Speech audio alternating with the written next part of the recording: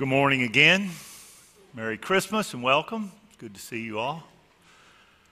I join Glenn in praying that you had a good Christmas. Um, but I also pray that we don't move too quickly past Christmas. I think too often when we move quickly through these great seasons of faith, we often will miss things that the Lord has for us. And I don't want to miss anything that He has for me, and I know you don't either. So I want us to kind of just uh, stay in the Christmas story for another day. And I want us to look at Luke's account of the birth of Jesus from Luke chapter 2. Maybe think about it from a little different perspective this morning. Luke chapter 2, beginning at verse 1. In those days, Caesar Augustus issued a decree that a census should be taken of the entire Roman world. This was the first census that took place while Quirinius was governor of Syria. And everyone went to his own town to register. So Joseph also went up from the town of Nazareth in Galilee to Judea to Bethlehem, the town of David, because he belonged to the house and the line of David. He went there to register with Mary, who was pledged to be married to him and was expecting a child. While they were there, the time came for the baby to be born. And she gave birth to her firstborn, a son. She wrapped him in cloths and placed him in a manger because there was no room for them in the inn. And there were shepherds living out in the fields nearby, keeping watch over their flocks at night. An angel of the Lord appeared to them, and the glory of the Lord shone around them, and they were terrified. But the angel said to them, Don't be afraid. I bring you good news of great joy that will be for all the people. Today, in the town of David, a Savior has been born to you. He is Christ, the Lord. and this will be a sign to you. You will find a baby wrapped in cloths and lying in a manger. Suddenly, a great company of the heavenly host appeared with the angel, praising God and saying, Glory to God in the highest, and on earth peace to men on whom his favor rests. When the angel had left them and gone into heaven, the shepherds said to one another, Let's go to Bethlehem and see this thing that has happened, which the Lord has told us about. So they hurried off and they found Mary and Joseph and the baby who was lying in the manger. When they had seen him, they spread the word concerning what had been told them about this child. And all who heard it were amazed at what the shepherds said to them. But Mary treasured up all these things and pondered them in her heart. The shepherds returned, glorifying and praising God for all the things they had heard and seen, which were just as they had been told. The grass withers and the flowers fall, but the words of our Lord stand forever.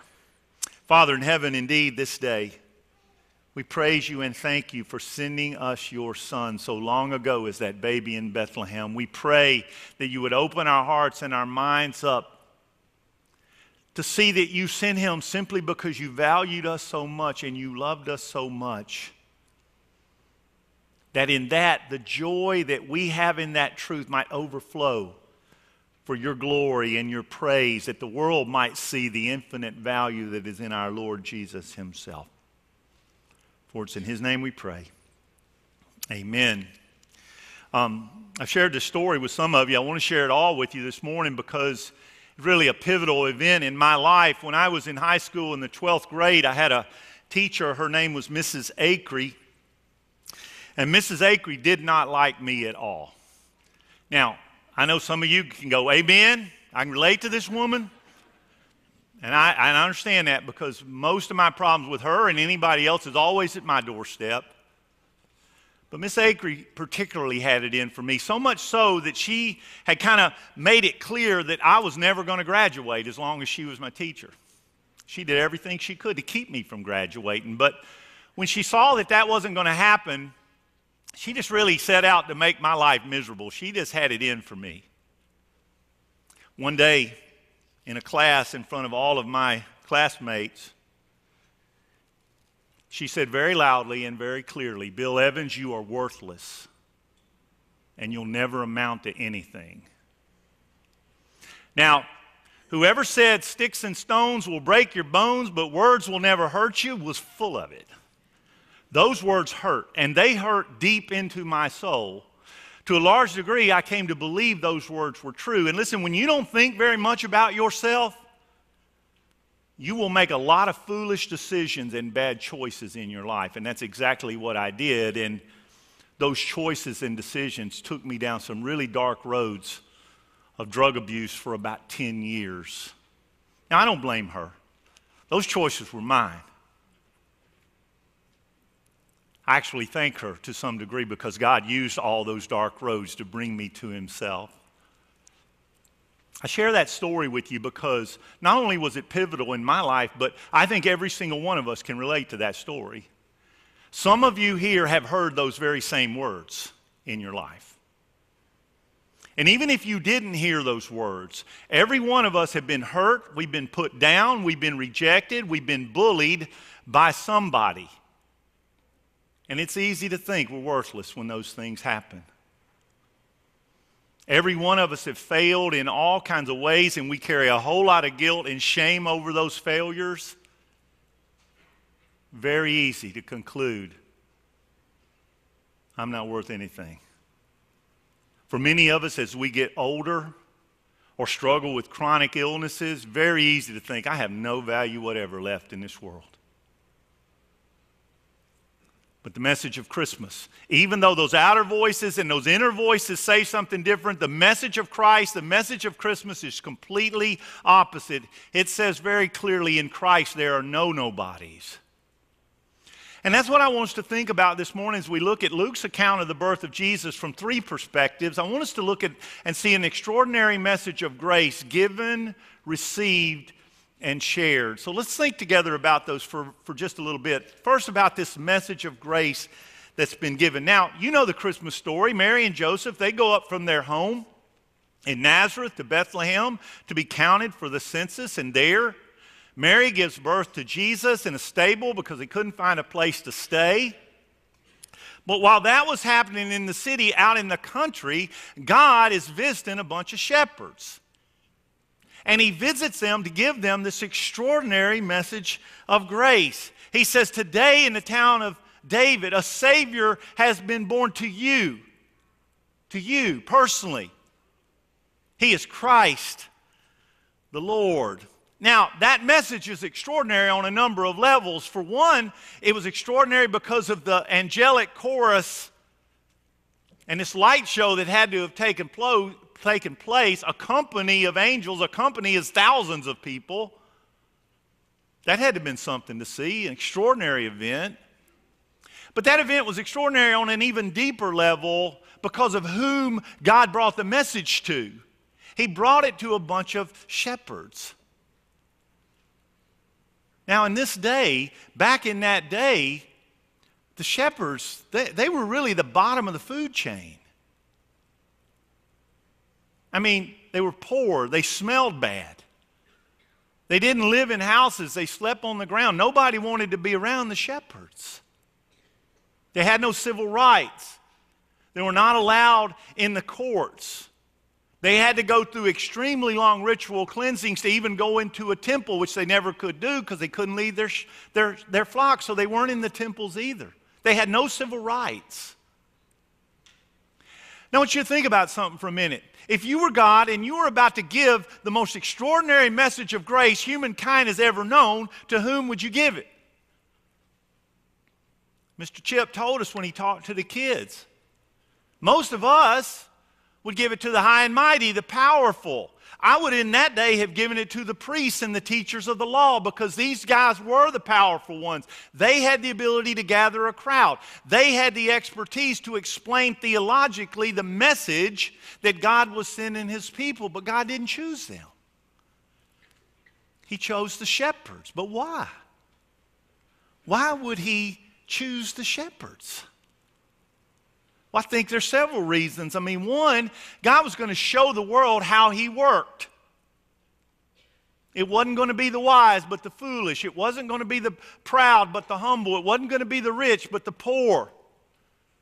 It wasn't going to be the strong, but the weak.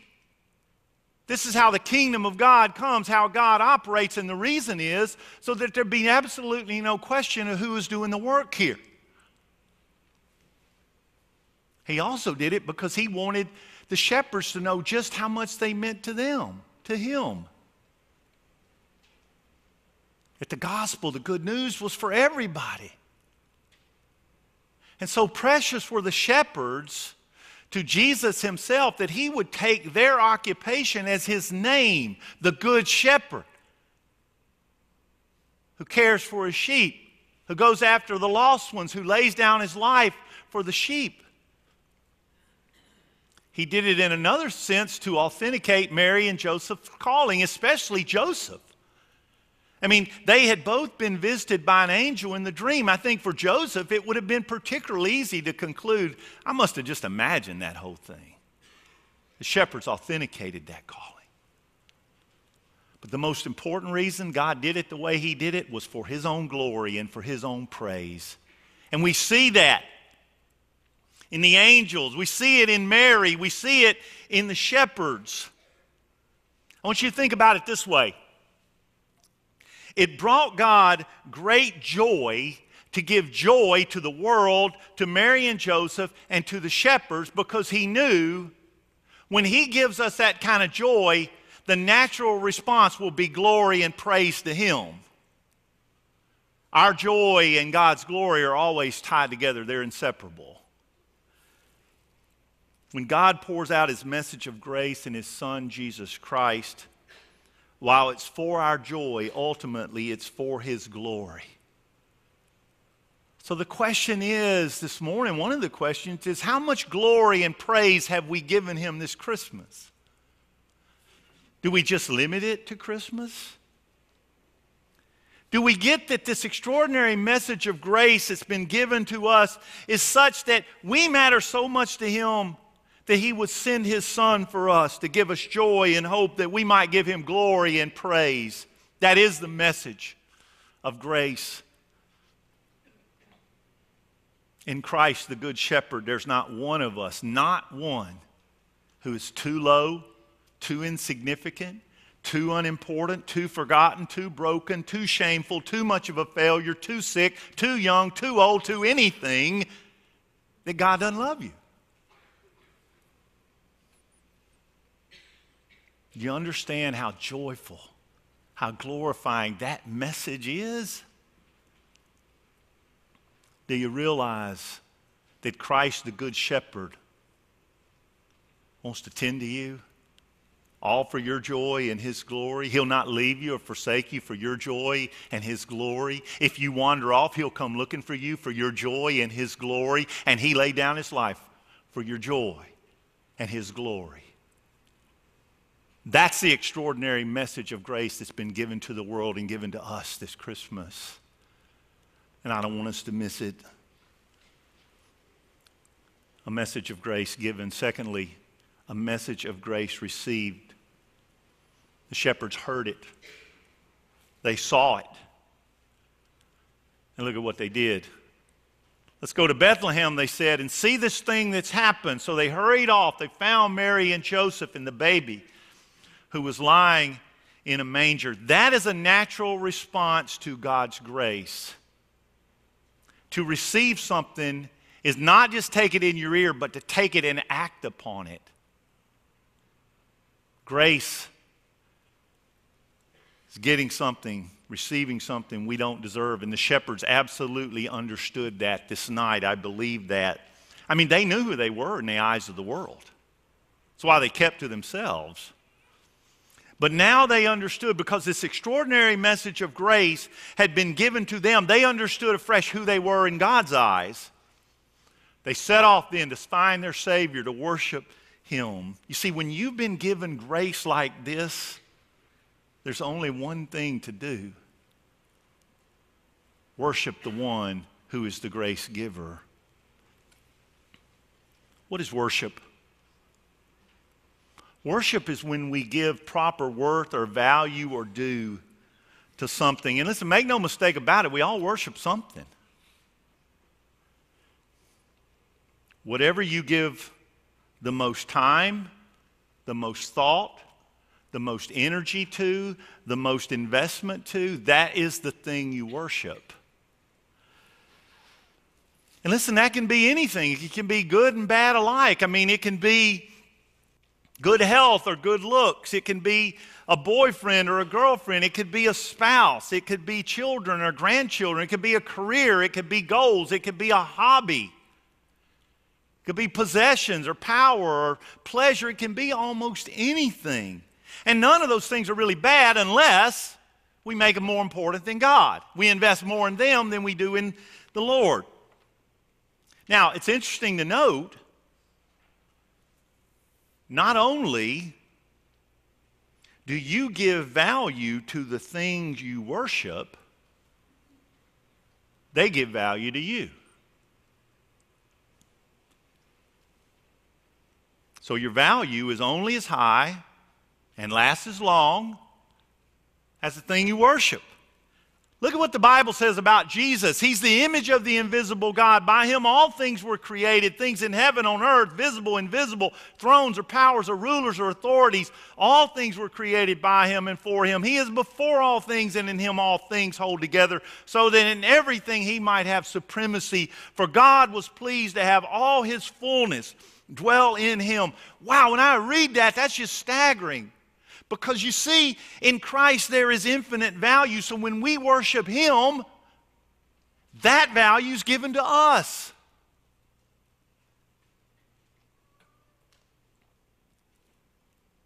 Christ makes a somebody. And you know what? If we're honest deep down, to be somebody is really our greatest human desire. But how does that happen? I mean, it happens like it did with the shepherds. It begins by understanding before God we're all nobodies. Now, don't misunderstand me here. I'm not saying that we don't do good things and we're good people, nice people. I believe we are. I'm talking about our sin. And our sin's not just the things we do wrong, it's a heart that's wrong to the things of God. And because the holy cannot bear the presence of the unholy, we can't even stand before the Lord. So, in a very real sense, we are nobodies. We cannot stand before the Lord on our own. So, our greatest need is to have our relationship with God restored. But we can't do that either because it's a heart issue. But the good news is our greatest desire to be somebody and our greatest need for reconciliation with God both find their solution in Jesus Christ. That's why He came. That's the very essence of Christmas that God humbled Himself. He took on flesh and He came down to our level to do for us what we could not, never, ever do for ourselves.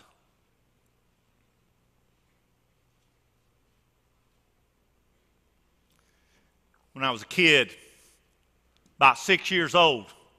I got the second best Christmas gift I ever got in my life as a kid electric train. I told you about the go kart a few years ago. This electric train. I loved electric trains. My daddy took this electric train, he hit this four by eight sheet of plywood, he made this little town on it. And the town had grass and it had trees and it had a pond, it was a mirror, you know. It had hills, it had buildings, it had cars, it had people in this track that wove all through this little town he had made. It was the coolest thing I'd ever seen in my life until I saw Chip's train room. That's all right, though. When you're six, this was it, you know. I love that. I love that train set. It was such a surprise to me and such a joy to me. My dad still has that board in his garage because he don't throw away nothing. I love that train. I played with that thing. I played with that thing round and round and round and round. And my dad, the whole time, standing over me, go, Now, Bill, keep it slow. Hold it down. That train will go off the track. Well, this won't come as a shock to any of you. I didn't listen to him. I had to see how fast the train would go. So I'm ripping that train around that track, and it didn't take but a second for the train. It's gone. It's off the track. Now, I'm standing over the train track, six year old kid. I'm trying to get the train back on the track, and you know how the car's got the wheels that are doing this, and I'm doing this, and I cannot get the thing back on the track. And my dad's watching me. He's seeing me struggle. Finally, he comes over and he goes, Bill, you cannot do that from above. you got to get down at the track level. So he lays down on the floor. We can see them wheels. He puts that train right back on the track, and we went at it again. Of course, it didn't take but a second. It's off track again. But then I knew how to put it on. He said, You can't do that from above. You've got to get down at the track level. And I think it's a great way to understand Christmas. You see, because of our sin, the human race had de- derailed and it needed to be put back on the track of life with God. And we couldn't do it ourselves, and God wouldn't do it from above. He had to come down to our level. And that's what He did in sending His Son our Lord Jesus Christ, God in the flesh, who came as a baby in the manger but grew up to be the man of Calvary, who lived and he died and he rose again to put us back on track by paying for our failures and restoring our relationship with God. That's a simple message of God's grace that's been given to all of us today.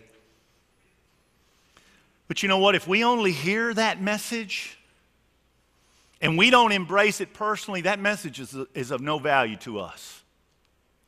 This is a message that has to be received personally by faith. I'm not talking about going to church more. I'm not talking about doing more religious stuff, though that's important.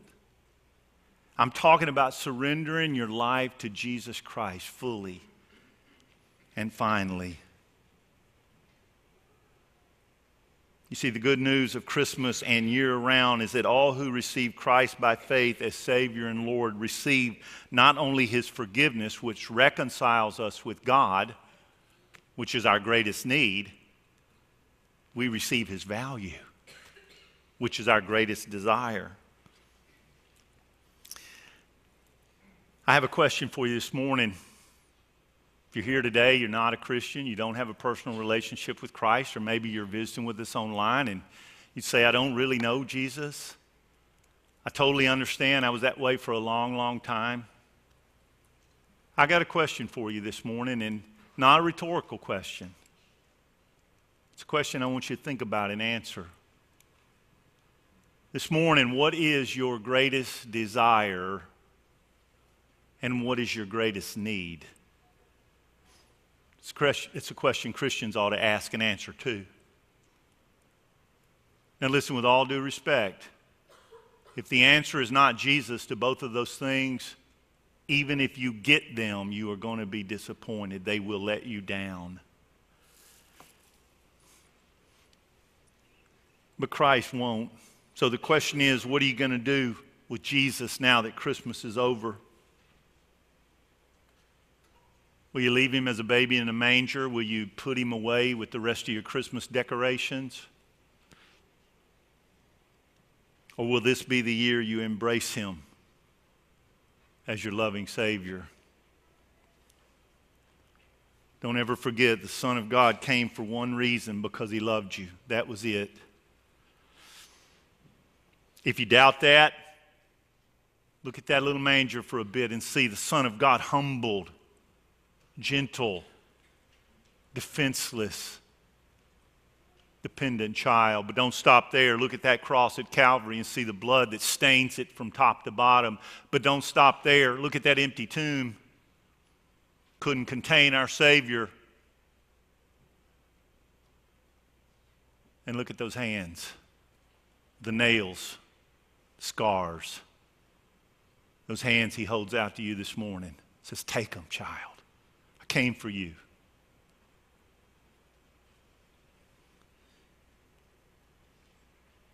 The shepherds heard the extraordinary message of grace and they received it and they went and found their Savior.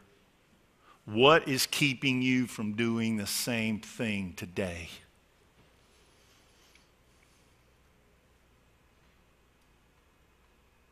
Come and talk to me.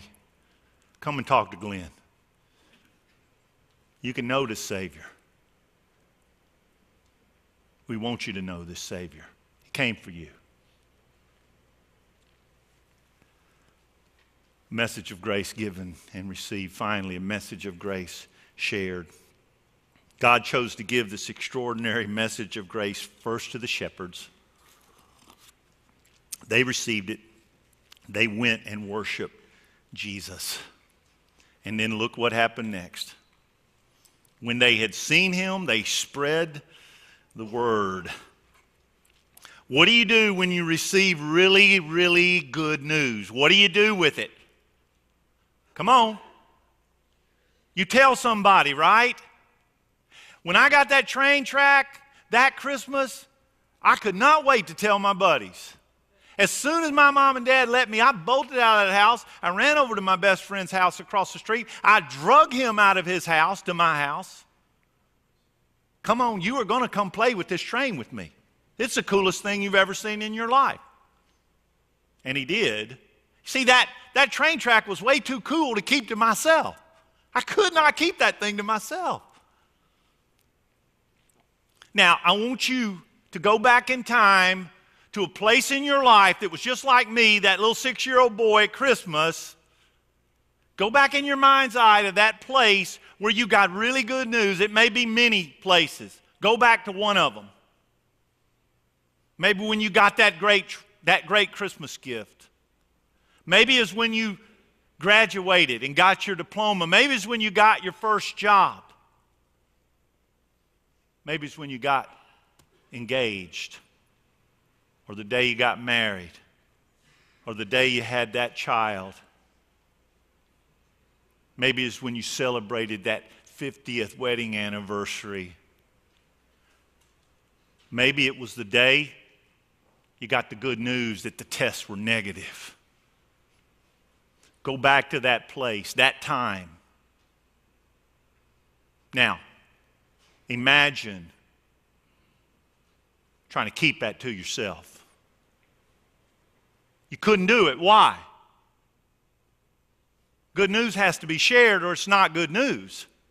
It's just news. Every single day I read the news and I don't share it with anybody. Why? Not worth sharing. This news, though, this is different. This news is worth sharing. The good news of Christ is by far the best news a person can ever get in this lifetime. But those who have received it have to share it, or it is really not good news to you.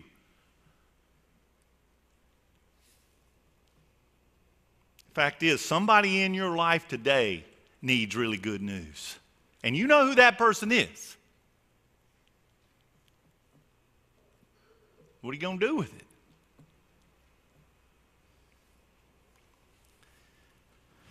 And look at what happens when we do. And all who heard it were amazed at what the shepherds said to them. Nobody was amazed at anything the shepherds said, not even other shepherds. But all who heard it were amazed at what the shepherds said to them. See, when we're faithful to tell others about Jesus, God is faithful to amaze folks with that news. It's not the high and the mighty, the rich and the powerful, but the everyday men and women, boys and girls, the shepherds of the world who receive the gift of Christ and go tell others about it. It is, however, the high and mighty God that amazes folks' hearts with the truth of Christ. We got a job to do, folks. Your story matters. I've said that before. Your story matters.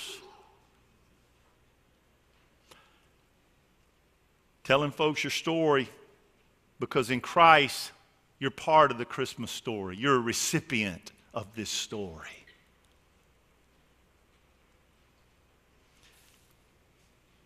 Deep down, we all want to be somebody. We want to be known. We want to be loved. We want to be valued in spite of all of our errors, in spite of our flaws, in spite of all the screw ups in our lives. But too often we listen to the outer voices that say you're worthless and you'll never amount to anything. Or we listen to the inner voices of shame and guilt that say the same thing. But the voice of the Lord is different. It says, uh uh-uh. uh those things aren't true. I've loved you with an everlasting love. I've drawn you with loving kindness. I am with you. I'm mighty to save. I take great delight in you. I quiet you with my love, and I rejoice over you with singing. That's a totally different voice, y'all. These prophetic words, written hundreds of years before Jesus was born, were pointing to him. And they found their fulfillment in him. And their truths for you and me today, regardless of what the voices of the world or the voices of our own hearts say. This is the same message of grace that God delights in sharing over and over and over again. And whatever Christ gives you, nobody and nothing can take it away. But for that unchanging message of God's grace to become personal and take up residence in our hearts, we have to hear it. It's been given to us. We have to receive it by faith and we have to share it.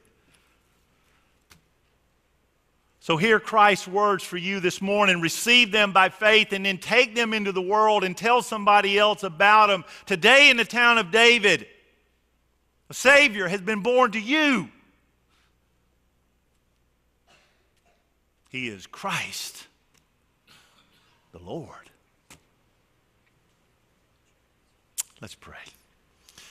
Father in heaven, we give you glory and we give you honor.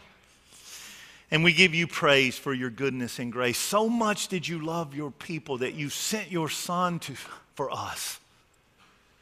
Oh Lord, we know he came as a baby in a manger in Bethlehem so long ago, and we join with the faithful in proclaiming your glory with thanksgiving for sending him. But we know he didn't stay a baby in a manger. We know he grew up to be the man of the cross where he died in our place and he rose for our sake. Oh Lord, let the truth that began its work at Christmas and worked its way out throughout the life of Jesus and has worked its way out in our lives and continues to work its way out in our lives in this world. Let it become ever more real today. That we wouldn't just put Jesus away with the Christmas decorations, but we would carry him into the world with this message of grace and good news and glad tidings for all men upon whom God's favor rests. We got the only message of hope this world needs.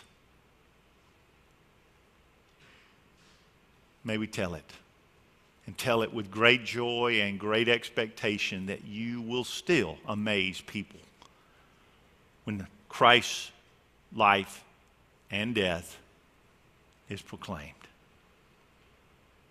We ask these things in his name. Amen.